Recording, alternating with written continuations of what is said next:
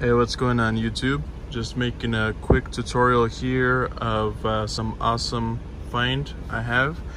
Um, this is regarding the hotspot data. If you have Verizon, typically you're limited to about 15 gigs of hotspot that's fast. After that, you get throttled down to around 500 kilobytes uh, per second, which is relatively slow. Um, you know, can't really do much.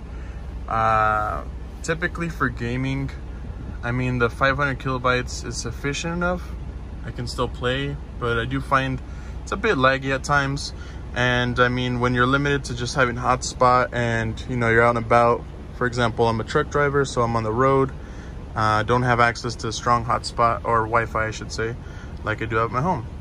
So there is a way around this and uh, I discovered so on a computer, so you can bypass the throttle um, by entering uh, this command in the command prompt and uh, essentially what it does is it makes the hotspot think that your computer is running on uh, the standard data from your phone.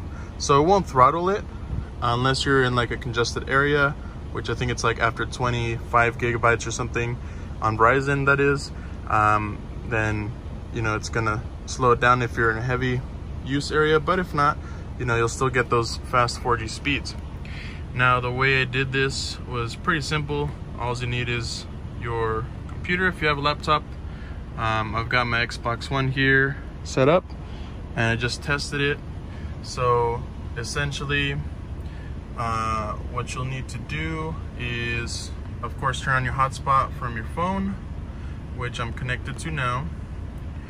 And again, as I said, I've already passed my 15 gig limit on my hotspot. Um, so to bypass it, uh, simply go to your command. If I can search, that is command prompt you want to right click that. Uh, let's try that again. Command prompt, right click, run as admin. Yes. And then you're just gonna enter that command right there. It's, uh, hold here. If you wanna pause it, it's netsh int IPv4 set glob default cur hop limit equals 65 just hit OK. It'll say OK right there. And then your computer will run internet and make your phone hotspot believe that it's just using your standard data like if you would on your phone. Won't be throttled. After that, uh, all the only other thing you're gonna need is an Ethernet cable, which I bought for about four bucks at Walmart. I'm in a pretty closed environment here, so I don't need a huge cable. Again four bucks i think it's uh, yep seven seven foot cable.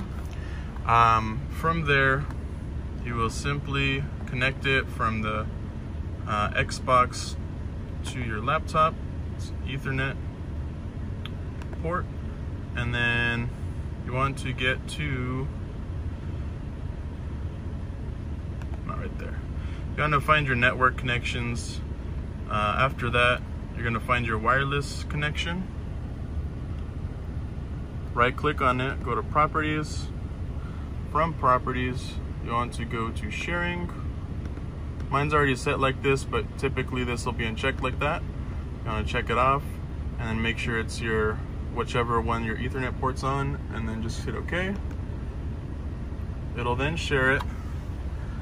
Um, and then you can go over to your Xbox and uh, should be connected. You might need to go into the settings and just to test the connection or whatever.